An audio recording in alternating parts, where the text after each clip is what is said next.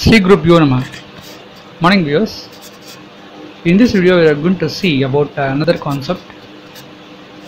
During the new moon day, if a person is having a chart, a birth chart, where sun and moon are together on a particular house, will it turns out to be a yoga or will it give bad effects? This is what we are going to see in this particular video in depth. If you are new to this channel, keep it subscribed so that you will get my updates instant. Is new moon horoscope a yoga? This is what you are going to see here. First of all, what is new moon and what is full moon?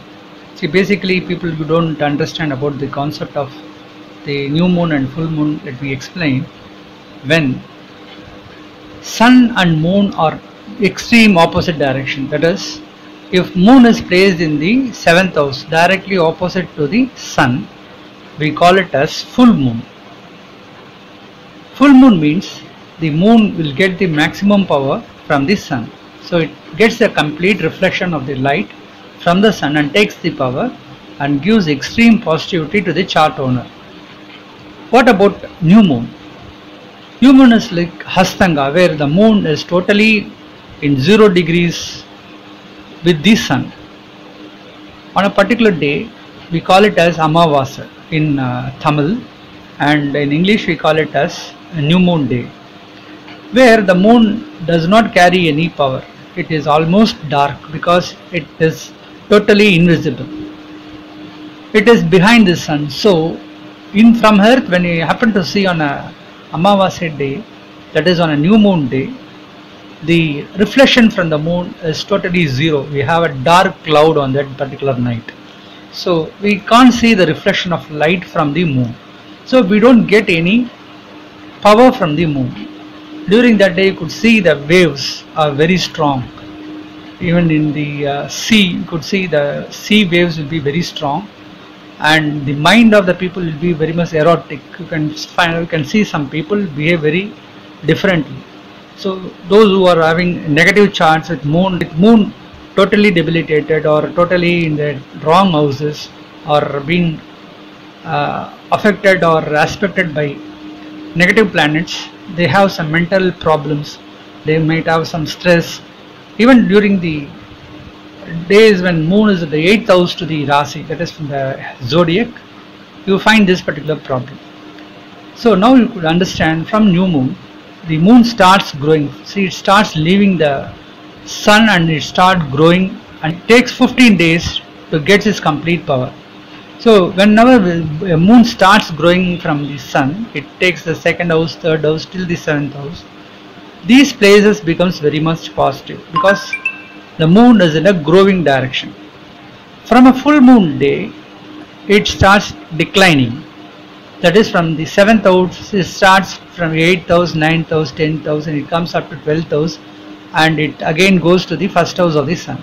So during this particular cycle, we call when the moon is declining it gives negative impacts so on a particular month whenever moon grows away from the new moon day to the full moon day it takes a positivity similarly if it declines from the full moon to the new moon it gives the negative impact also to an extent moon carries certain light until the fourth day when it starts declining from the full moon so almost when it is in the 9th house, 10th house and 11th house and 12th house. You could say, you can say even 10th, 11th and 12th. All these three houses, when moon is placed, it, all, it almost loses its power.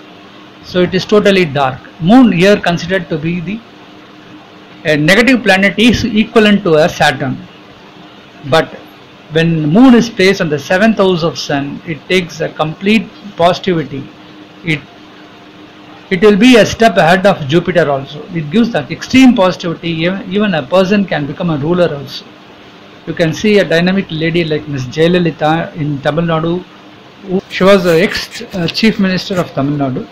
Her horoscope supported based on the full moon, moon having a very strong power and made her a dynamic lady. So this is a concept. During the new moon period, do you think my horoscope will not give any support?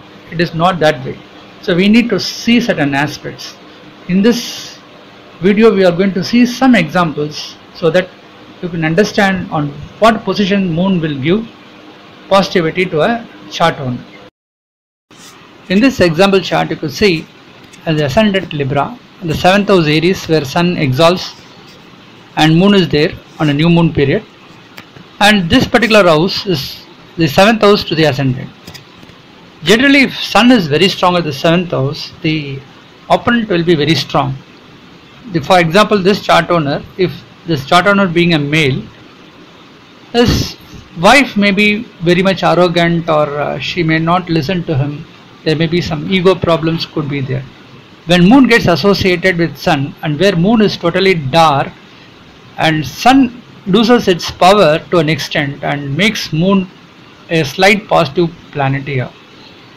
So the negativity is gets reduced but at the same time moon is the 10th house lord for the ascendant libra. And when it being associated with sun on a new moon period this person may have some problems in the workplace also. Here there is no planets no positive planets aspecting aries.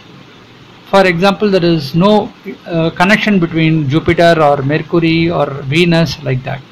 So this particular chart owner may find the family life to an extent comfortable but he may find some difficulty in his workplace. He may not enjoy his work.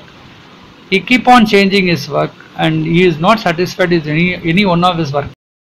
In this example chart you could see for Aquarius the 6th house lord being moon and it is being there as a ruler. But here it is not so because people generally think when moon is there at the 6th house cancer it is very strong. But here it is not because it is a new moon day where sun is almost close with moon. And here moon is totally dark. To an extent this particular chart owner takes the positive effect of the moon because moon happens to be the sixth house lord it should not be getting this maximum strength. If it gets a strength then this person will have weakness in uh, in his health. He may find lot of health issues. He may be bankrupt from others. So a lot of problems. He may face a lot of uh, problems with the public and he cannot enjoy his life. He'll have some series of problems. But here luckily the sixth house lord is not so strong. And because of the new moon uh, period on a particular day where sun is almost close and makes, makes Astanga or uh, makes moon totally negative here. So this chart owner will not have the negative effects of the sixth house but at the same time he may not find the health of his mother good. So there is also some negative in this. The negative effects of the karak, the moon's karak it will work, but the sixth house, the effect of the sixth house will get reduced here. So this is the example of a particular uh, negative planets, but if it happens to be the sixth house lord to an extent it is good. Here also you can see there is no positive planets getting associated with this sun and moon being placed at the sixth house. It is good. If there is a connectivity between the positive planets like uh, Venus or Jupiter getting associated here or aspecting this house, then the house becomes strong. So the ascendant, the native of the chart owner will face all the problems of the sixth house. Luckily here there is no positive planets aspecting this, rather Saturn aspects it and it becomes even worse. In this example where for ascendant Virgo, the 7th house Pisces, you have Sun and Moon together in the houses of Jupiter like Pisces and Sagittarius, there won't be any much negative effects. So even though the moon is on a negative side here, because it is on a new moon day, Jupiter from the Cancer, that is Jupiter is having the highest strength here, it aspects its own house, so it turns out to be very positive. So now in the 7th house for this ascendant, the sun and moon together gives a very good positivity. So the 11th house lord is there at the 7th house. So they'll have a lot of friends. Out of friends they get good profits. So there is a good support from the friends. There are good support from this life partner. They uh, chart owner will get a beautiful wife. If in case if this chart owner is a male he may get a beautiful lady as his wife. Same way if this particular chart owner is a female the female may get a good handsome person as a life partner.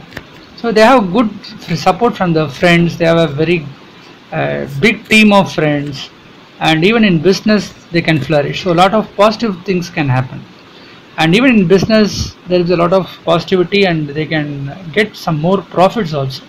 Because the moon being the 11th house lord in case if jupiter is not aspecting this sun and moon here then there will be a lot of problems. He may have he, this person may not get support from their opponent. The person may not get friends also or they may not find any loyal friends also. Even in business they may find losses. So all the things will turn out to be very much negative but luckily for this particular example if you see Jupiter takes the extreme power as it exalts at Cancer and it aspects its own house where this, the Sun and Moon are being seated. So it turns out to be a positive and yoga for this particular chart owner. This example chart for Virgo ascendant in second house you could see Sun and Moon are together on a new moon day where Sun happens to be the 12th house lord and Moon happens to be the 11th house lord and Sun debilitates at the second house and Moon is also weak here. Here it is a weak moon and on a new moon day. So this particular house is not aspected by any of the planets. Any of the positive planets especially like Jupiter or Venus or standalone Mercury. So it becomes totally negative. The second house implicates speech. So the person may not have a strength in his speech. Rather than this person is a liar and he may not talk in a straightforward manner. So all these negative things can happen.